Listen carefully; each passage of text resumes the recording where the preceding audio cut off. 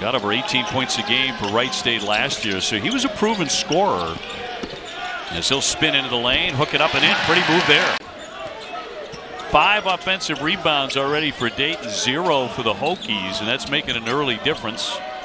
Basile will flip that one up and in. He's got a little game in that lane. You you develop a toughness about you. Absolutely, but my question is, uh, as Basile knocks down the three, he's gotten it going here offensively. But a foul. And we've seen Basile go off the bounce. You can't give him this much room knocking down. Well, KG could not make that one fall. Uh -oh. And swished in on the money by Basile.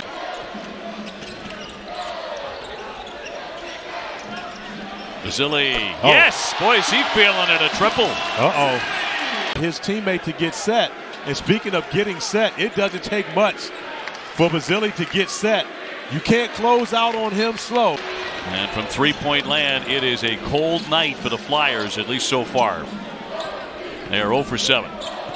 In the lane, guess who? Camara gets a touch. Basile trying to defend him and does a good job of it. And the Hokies take it back. And we're going to have to defend, and they've done a great job defending this season.